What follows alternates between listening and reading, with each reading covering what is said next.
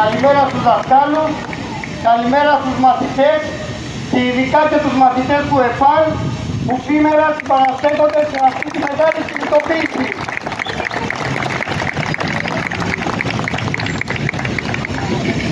Λένε και οι στίχοι του ποιητή, όταν η ανάγκη γίνεται ιστορία, η ιστορία γίνεται σιωπή. Σιωπή λοιπόν σήμερα σε όλους αυτούς που υποβαρμίζουν τη δημόσια δωρεάν εκπαίδευση. Σιωπή σε όλους αυτούς που έχουν οδηγήσει σε σαρδελοποίηση των μαθητών μέσα στα σχολεία. Σιωπή σε όλους αυτούς που έχουν αφήσει δημοτικά γυμνάσια και λύκεια χωρίς δασκάλους και καθηγητές. Και την ίδια στιγμή όμως, ο αλήθεια, την ίδια στιγμή ο πλούτος να ρέει άφθονος στα σεντούκια τους. Ζούμε σε μία πόλη που παράγεται το 40% του πλούτου στην πατρίδα μας. Το βλέπετε γύρω σας.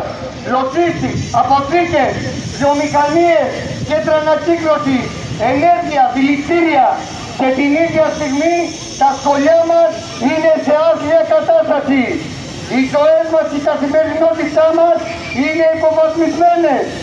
Γι' αυτό και οι μαθητές του ΕΦΑΛ είχαν όλη την εβδομάδα κατάληψη που ήταν υποχρεωμένοι να κάνουν σε ένα σχολείο πρώην σπίτι, αποθήκη, σούπερ μάρκετ μάθημα. Γι' αυτό και οι γονείς του 8ου προχώρησαν σε κατάληψη. Γι' αυτό και δεκάδες γονείς, μαθητές, δάσκαλοι και καθηγητές είναι σήμερα εδώ. Σήμερα σε μη υπογραφή από όλους μας είναι ότι ξεκινάμε. Ξεκινάμε έναν αγώνα για να τους επιβάλλουμε τα σχολεία που θέλουμε. Να τους επιβάλλουμε να μας γεμίσουν με καθηγητές και δασκάλους. Να τους επιβάλλουμε να έχουμε δροσιά το καλοκαίρι και ζέστη το χειμώνα στα σχολιά να τους επιβάλλουμε να έχουμε ασφαλή μέσα μετακίνησης από και προς το σχολείο χωρίς να κινδυνεύουμε αν θα μας χτυπήσει το λεωφορείο, το πούλμαν, το φορτηγό ή ο τράκτορας. Για όλους αυτούς τους λόγους εμείς συμπαραστεκόμαστε στο δίκαιο, τίμιο και επίκαιρο αγώνα σας και μαζί όλοι θα καταφέρουμε να ανατρέψουμε αυτή την κατάσταση έτσι ώστε στον 21ο αιώνα να απολαμβάνουμε αυτά που όλοι μαζί παράγουμε ειδικά σε ένα τόσο ευαίσθητο τομέα όπως είναι η παιδεία.